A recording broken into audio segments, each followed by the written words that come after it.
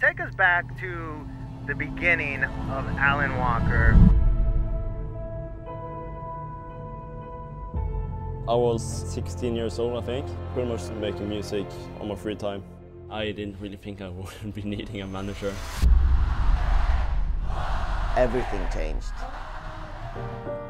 I saw this poster with a lot of local acts on it, and then there was the name of Alan Walker. I thought, who's Alan Walker? Life changes when you have such a global hit as Alan had with Faded. We have had a whole lot to do and very little time to do it. Alan Walker! This is absolutely incredible.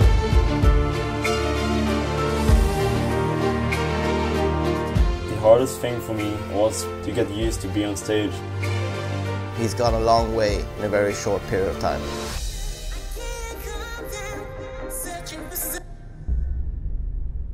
That, was that wasn't supposed to happen, but... yeah, that was pretty scary. I think I've never been so scared before in my life. I discovered this YouTuber and he started teaching me the basics of music production.